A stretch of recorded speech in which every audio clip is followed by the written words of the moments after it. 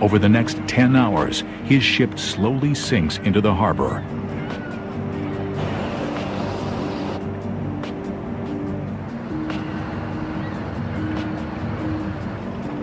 Finally, after a globe-crossing journey from Singapore, the hull is afloat. Now it's time for a mind-boggling lift. The gas processing platform is as big as a city block and weighs almost 9,000 tons. The crew will have to hoist it 200 feet into the air and strategically lower it onto the hull's support pillars. It's like lifting a 500-foot warship. There's only one machine for the job, this Heavy Lift Device, or HLD. It's one of the largest of its kind in the world. The first step is to slide the topsides along this skidway and onto this barge.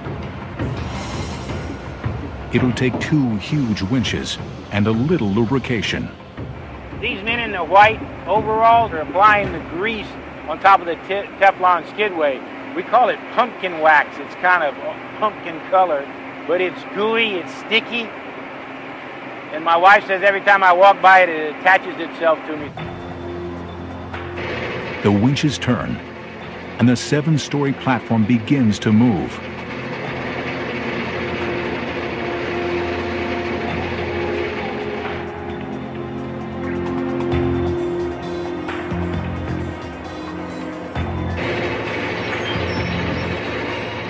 At the water's edge, the process gets trickier. Water in the barge's ballast tanks has to be carefully adjusted to accept the massive weight.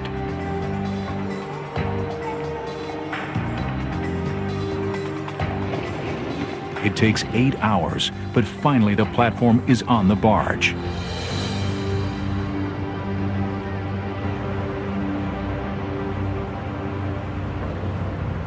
tugboats wrestle the platform into position underneath the HLD.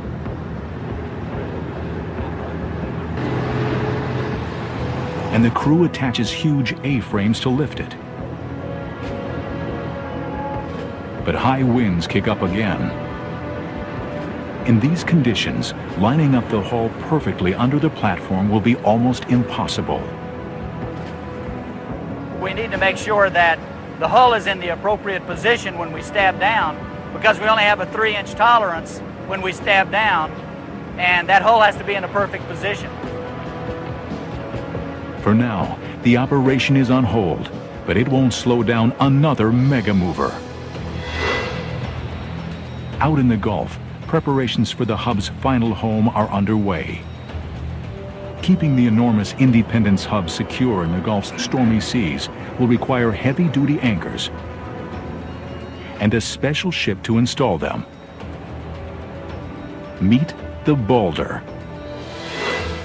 The columns of her pontoon-like hull make her incredibly stable, essential for lifting the huge anchors which will secure the hub to the ocean floor.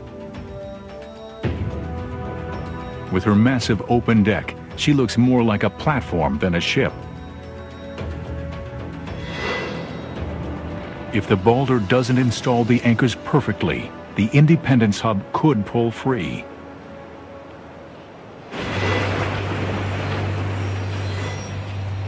That's what happened to this hub. Thunder Horse was the biggest hub in the Gulf until Hurricane Dennis ripped it from its moorings. To make sure this doesn't happen to the Independence hub, engineers are installing 12 permanent anchors called suction pilings. A two and a half mile long cable will connect each piling to the floating hub. The Balder's challenge? Place each piling at exactly the right spot and perfectly level nearly two miles down. If she succeeds, these will be the deepest pilings ever installed. She'll need her cranes, some of the most powerful afloat, to pull it off. Together they can lift 7,000 tons. But it's not just about brute strength. It's also about precision. The Balder's seven engines help keep the ship right on target. And staying in position is the name of the game, especially when you're installing pilings this big. Each weighs over 200 tons, as much as five tractor-trailer rigs. They're each 88 feet long and 18 feet in diameter. Securing them is a process that takes perfect coordination of the cranes, the engines, the winch, the remotely operated vehicle, and the crew on deck. Barges bring the pilings to the ship. Cranes lift them on board and set them down, very gently. The crew attaches a harness and chains for the lift.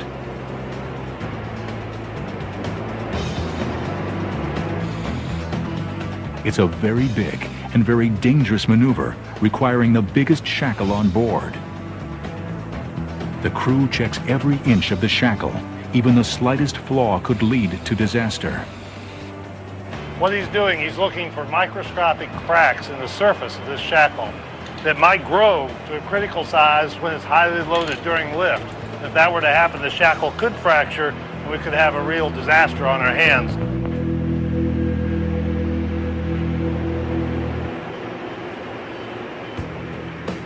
The two cranes lift the piling to turn it on end. It goes without a hitch, and the piling lowers over the side of the Balder. On the bridge, the crew monitors every movement. If the Balder isn't level, or if she begins rocking, the huge piling could become a wrecking ball, crashing into the deck or punching a hole in the ship. With all that weight over one side of the ship, you'd think it could tip over. But back on the bridge, the crew controls ballast tanks in the Balder's hull to counteract the weight. The piling lowers into the sea.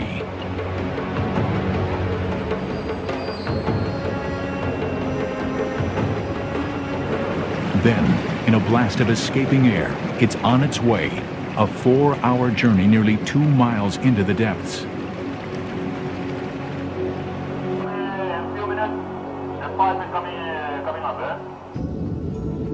The huge anchor has to be placed within a hair's breadth of a buoy set on the ocean floor and set at the right angle. Wind isn't a problem, but currents are, and the Balder's engines strain to steady the ship. If the piling isn't installed perfectly, the massive tension of a two and a half mile mooring line could rip it apart. The piling hangs just feet from the ocean floor. What the crew must do now is truly incredible. It's like being on top of a skyscraper and trying to put a nail on the end of a string on a certain spot on the sidewalk. ROVs, remotely operated vehicles, are the eyes of the project engineers, allowing them to inch the massive piling closer to its target.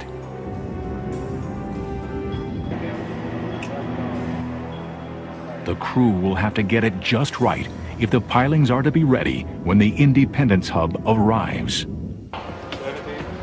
The Balder moves closer to the target, ready to install one of a dozen pilings which will anchor the Independence Hub at the center of the gas field.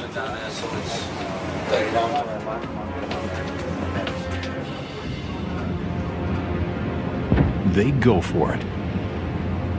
The 200-ton piling stabs into the sea floor. Does anybody have a visual on draft readings? The piling's weight drives it an incredible 45 feet down.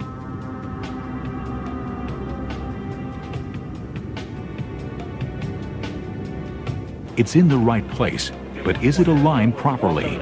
Our orientation is very good. Probably about the best we've achieved thus far. Very good. Tightest one we've had. Hey guys, I was looking. The ROV moves in for step two. It closes the valves that seal the end of the piling. Then it connects a powerful pump. As the pump sucks out the water inside the piling, the structure sinks even deeper into the sea floor. Mission accomplished. But the Balder's crew doesn't have time to celebrate. They'll work around the clock to install the remaining three pilings before the hub arrives.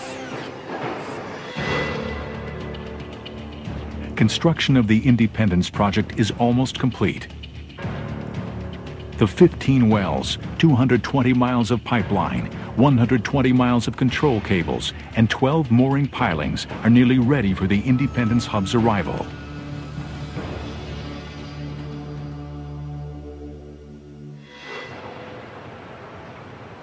In Texas, it's countdown to the big lift, the last obstacle facing the project engineers. Hoisting the nearly 9,000 ton processing platform onto the four towers of its behemoth flotation hall. It's a job for one of the biggest lifters in the world, the Heavy Lift Device, or HLD. But it's never attempted a load this large. Inside the control shack, engineers continuously monitor the HLD's controls in preparation for the big lift. The mammoth booms are 500 feet long and 23 miles of cable weighing 900 tons run through her motors and winches. Sensors on the booms and the cables provide constant feedback to the engineers. On the hub and the barge, the crew performs their final checks. Then, all but a few crew members move off to a safe distance. A broken cable now would send the mammoth platform crashing to the ground. The lift's motors begin to turn. The cables take up the enormous weight. Then, an ear-splitting boom gets everyone's attention. A fitting for the A-frame has adjusted under the strain. The lift continues cables strain as the HLD takes the full weight of the platform. Then, suddenly, one side is free. In the control room, every sensor is double-checked. The motors and winches turn, and the nearly 9,000-ton platform hangs free.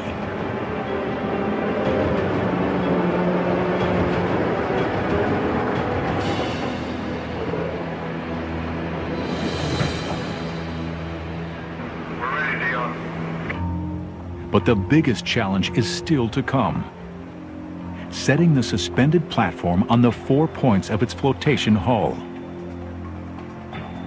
First, the platform has to be raised even higher to make room for the hull. Then, four tugs work in concert to turn the hull and push it into place. On top of the hull, an alignment pin will be the guide to make perfect contact. The hull has to be positioned precisely for the pin to fit inside a 24-inch diameter guide. 10 feet uh, uh, height from the, the guide to the... Now, it's up to the team leader to thread this needle and mate the platform to the hull. When yours line up, if you get there. Thick steel mooring cables connect the hull to shore. They'll control the critical position of the hull underneath the platform. The team leader communicates constantly with his spotters on the hull's towers. Put you in the guide. Put a swing. Easy boom up with a easy swing. He directs the massive platform to come down. With only three inches of tolerance, it has to be perfect. Yeah, 10 4. Uh, I don't need quite a foot to get in the guide, but still. But the alignment is off. it, it's turned just a hair.